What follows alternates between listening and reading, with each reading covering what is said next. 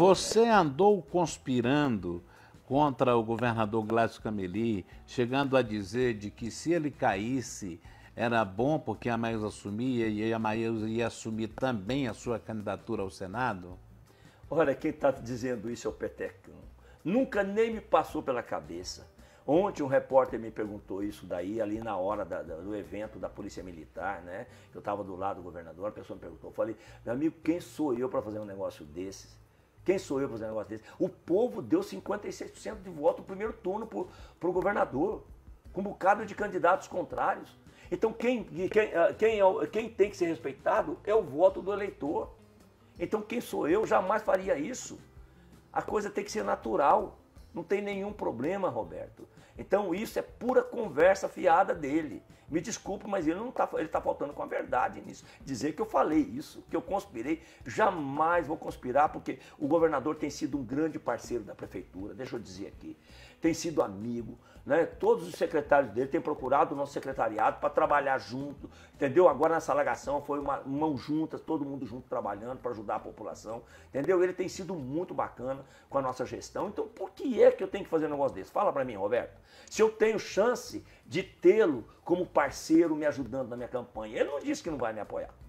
Não disse em momento nenhum. Por enquanto você continua no PP. Eu continuo no PP e eu acredito que vou ficar no PP. Não vou se precisar sair do PP, sabe? É uma questão de tempo. Porque ele disse que você estava querendo ir para o PL, algo assim. Não. É porque já estava combinado com, com o Márcio Bittar, não. que você está apaixonado pelo Márcio Bittar, apaixonado politicamente, claro.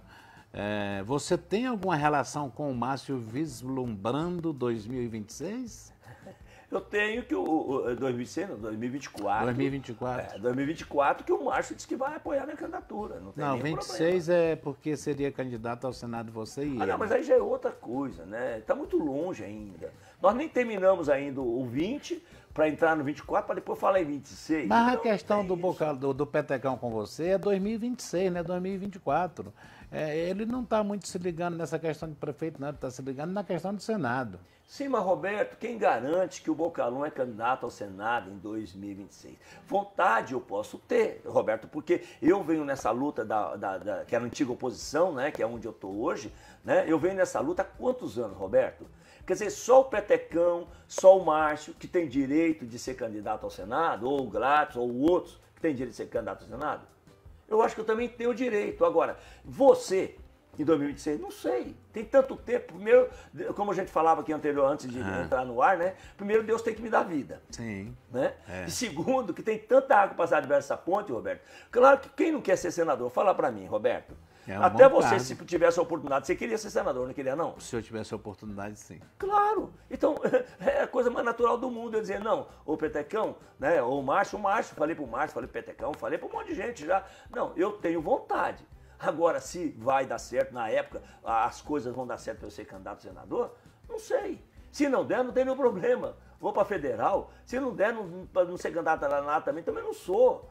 Entendeu? Eu não estou na política para fazer da política apenas uma carreira, para ganhar dinheiro, essas coisas. Não, todo mundo sabe que eu estou na política para ajudar as pessoas, Roberto. Volto a insistir.